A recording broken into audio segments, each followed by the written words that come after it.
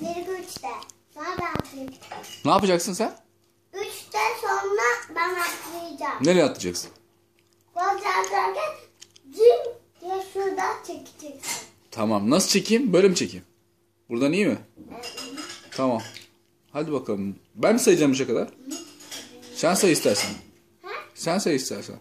Bir, iki, üç. Ne oldu? Ali iyi misin? ne oldu? Olmadı da. Ali.